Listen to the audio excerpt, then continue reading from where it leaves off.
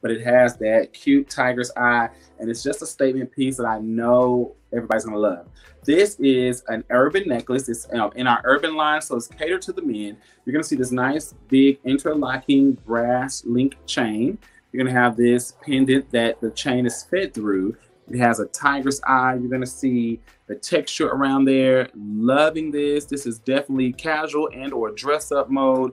We love this piece. I love this piece. I cannot wait to wear it myself. It is a hot piece, very hot. Okay, very hot. You're gonna have an adjustable clasp. There's no uh, earrings because it is an urban piece, but it does have the adjustable clasp with a two-inch extender. And again, this is gonna be a great piece for our men. So men, if you love this piece, then uh, you might want to get this piece tonight because it's a great piece. I know I'm going to be wearing this. Again, brass with that tiger's eye. Ladies, you want to get your man this piece, okay? So that's going to be 127.